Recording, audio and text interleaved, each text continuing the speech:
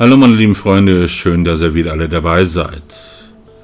In dem vermissten Fall von Vanessa Huber gibt es ein paar Neuigkeiten. Allerdings, naja, finde ich die auch schon so ein bisschen befremdlich, wenn ich das mal so sagen darf. Und zwar in einem Artikel von T-Online war dann Folgendes zu finden. Im vermissten Fall Vanessa Huber gibt ein Hellseher Hinweise an die Polizei weiter. Bereits zweimal führte er die Ermittler in Wälder, aber ohne jeden Erfolg. Die Ermittler haben ihre Suche nach der seit dem 5. November 2022 vermissten Vanessa Huber aus Unterhaching ausgeweitet in den Deisenhofener Forst. Dort kamen Leichenspürhunde zum Einsatz. Die Polizei grub teilweise den Waldboden um, wie ein Pressesprecher bestätigte. Doch wie es überhaupt zu dieser neuen Suchaktion kam, ist obskur. Ein Hellseher, der regelmäßig nach Vermissten in ganz Deutschland sucht, schaltete sich in die Ermittlungen ein. Dafür fuhr der Hellseher eigenen Angaben zufolge mit seinen Händen über eine Landkarte. An der Stelle, an der seine Hand stoppte, sollte dem Mann zufolge die Vermisste liegen. Das Vorgehen klingt nicht gerade seriös. Was außerdem daran merkwürdig erscheint, der Hellseher kommt aus Siegburg im Ruhrgebiet, rund 500 Kilometer von Unterhaching entfernt. Er habe keine Verbindung in die oberbayerische Gemeinde. Auch mit Vanessa Huber habe er nichts zu tun, sagte der Mann im Gespräch mit T-Online. Der 52-Jährige soll früher Reporter gewesen sein. Seit inzwischen 16 Jahren sucht der Mann Vermisste und liefert Hinweise an Polizeibehörden in ganz Deutschland. Der Erfolg im Fall Vanessa Huber ist bislang allerdings sehr überschaubar. In Unterhaching lenkte der Hellseher die Ermittler zunächst in den Perlacher Forst. Dafür hatte er sich an die Mordkommission in München gewandt, wie er T-Online im Gespräch bestätigte. Die Suche dort war allerdings vergebens. Doch auch Hellseher könnten sich irren. Deshalb sendete der Mann einen erneuten Hinweis mit Koordinaten im Deisenhoferner Forst. Dabei wandte er sich allerdings nicht direkt an die Polizei, sondern kontaktierte telefonisch eine fremde Oberohachingerin, die dort mit ihrem Hund suchen sollte.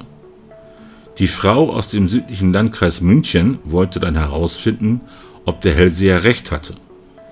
Deshalb machte sie sich mit ihren erwachsenen Kindern auf zur angeblichen Fundstelle.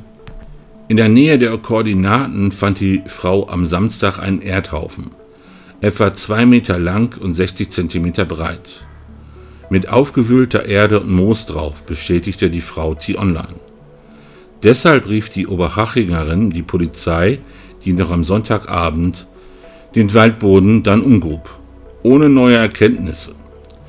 Diese Woche entsandte die Polizei auch einen Leichenspürhund, der ebenso wenig anschlug.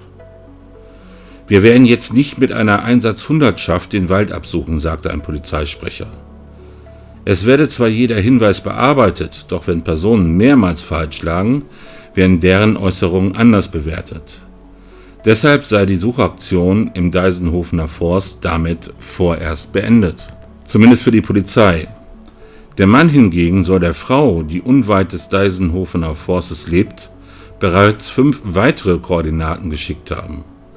Doch das wurde der Oberhachingerin zu dubios. Außerdem habe sie keine Zeit für diese Suchaktion. Deshalb soll der Hellseher weitere Personen aus Oberhaching kontaktiert haben, die stattdessen für ihn auf die Suche nach Vanessa Huber gehen sollen. Auch im Fall der vermissten 16-jährigen Julia W. aus Remshalden in Baden-Württemberg spekulierte der Hellseher mit. Ihre Leiche wurde am Donnerstag gefunden. Die Koordinaten des Hellsehers waren in diesem Fall um viele Kilometer falsch. Ebenso im Jahr 2019. Damals mischte sich der Mann in die Ermittlungen der mittlerweile seit fast vier Jahren vermissten Rebecca aus Berlin ein. Dem damaligen Chefermittler platzte der Kragen, wie das Redaktionsnetzwerk Deutschland RND titelte. Die Berliner Polizei geht keinen Hinweisen von Sehern, Geisterkontaktern, Kartenlegern, Pendelschwingern, Kaffeesatzlesern, Wachträumern, Wünschelroutengängern, Remote-Viewern, Astralwahrnehmern, Computer, Frequenzauslesern und so nach. Weitere Kontaktversuche, das sollten Sie eigentlich vorhersehen können, sind somit für Sie nicht zielführend, hieß es in einer E-Mail, die die Polizisten an den Hellseher sandten. Jetzt suchen weitere Privatpersonen für den Mann den Deisenhofener Forst ab. Denn der Hellseher ist weiterhin überzeugt, dass Vanessa Huber dort liegt. Anhaltspunkte für diese Behauptung gibt es freilich keine. Ja, sagen wir es mal so, es gibt durchaus meiner Meinung nach einige sehr wenige Personen, die vielleicht eventuell in so einem Fall weiterhelfen.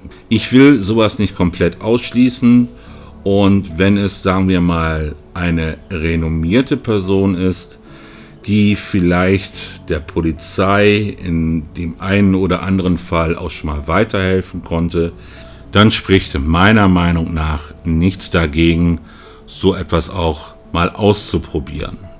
Denn man sollte ja eigentlich soweit jeder Spur nachgehen, insbesondere wenn es eben darum geht, eventuell noch ein Menschenleben retten zu können, beziehungsweise dann auch in so einem Fall weiterzukommen. Allerdings sollte man sich vor allen Dingen seitens der Polizei dann einmal informieren, wer ist denn diese Person überhaupt, der sich als Hellseher ausgibt und dann gerne der Polizei helfen möchte.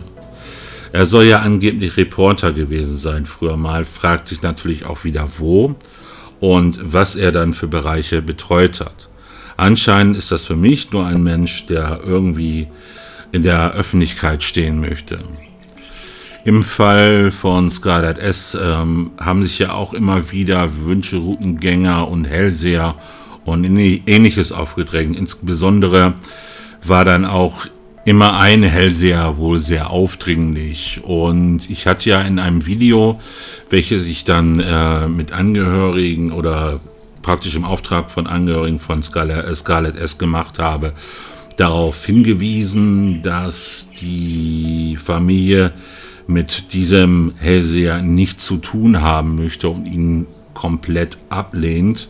Und aufgrund dessen hat sich dann ja ein Videoportal, welches wohl mit diesem Seher zusammenarbeitet, äh, bei mir gemeldet und hat verlangt, dass ich da eine Richtigstellung produziere und das dann auch auf meinem Kanal darstelle. Was ich natürlich nicht gemacht habe, weil ich äh, nochmal Rücksprache dann äh, mit Scarlett S. Familie, Freunde per E-Mail gehalten habe und die mir ganz klar gesagt haben, nein, wir wollen mit diesem Menschen nichts zu tun haben. Es gibt leider immer wieder Personen, die sich dann, wie ich massivst in solche Ermittlungen einmischen und vorgeben, helfen zu wollen. Sie helfen aber nicht, sondern sie stören solche Ermittlungen. Natürlich könnte mir jetzt ein böser Mensch äh, mir dies auch vorwerfen, dass ich hier Ermittlungen störe. Äh, mit meinen Spekulationen, die ich dann bei fast allen Videos betreibe. Dem ist aber nicht so. Also, erst einmal greife ich nicht in Ermittlungen ein. Ich kontaktiere keine Polizeidienststellen, Ermittler oder ähnliches und sage ihnen, was sie tun sollen oder ähnliches. Das Einzige, was ich mache, ist, dass ich meine Denkweise, was in dem Fall passiert sein könnte, einfach darstelle. Ich stelle auch immer ganz klar dar, dass es sich um Spekulationen meinerseits handelt und was ich mir vorstellen könnte. Das heißt nicht, dass es so sein muss. Aber ich gehe immer nach diesem Prinzip. Wenn man eine Sache lange bearbeitet, dann kann es sein, dass, ihm, dass einem irgendein Detail nicht ins Auge springt. Und es war auch früher bei Arbeiten schon immer so, man sitzt stundenlang irgendwo drüber, man findet irgendwo einen kleinen Fehler nicht. Man gibt dann diese Geschichte jemand anderem und der guckt zwei Minuten drauf und sagte, da ist es doch. Und genau das ist einfach auch nur das, was ich mit meinen Spekulationen betreibe, dass ich einfach sage, habt ihr auch an diesem Punkt schon mal gedacht?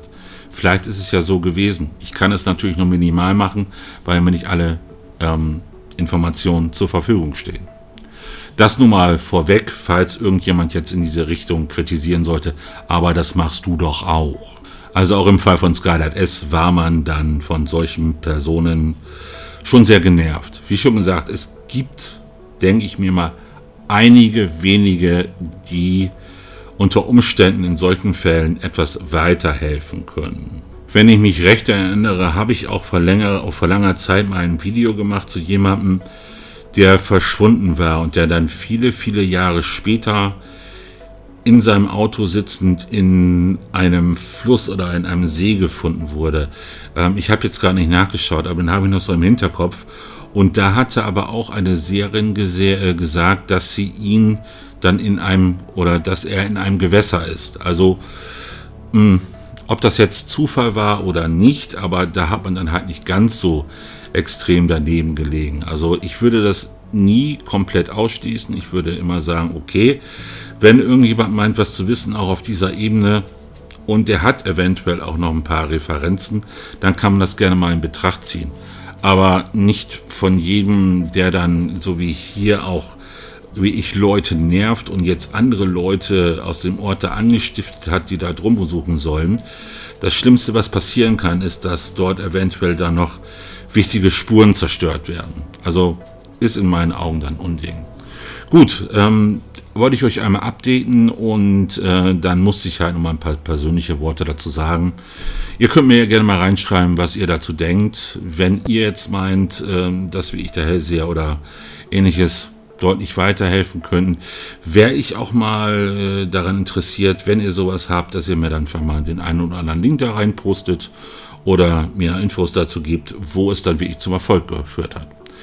So, dann sage ich erstmal Schluss mit dem Video. Ich bedanke mich fürs Zuhören oder fürs Zuschauen, je nachdem, wie ihr meinen Content konsumiert. Passt auf euch auf und bis zum nächsten Video. Tschüss.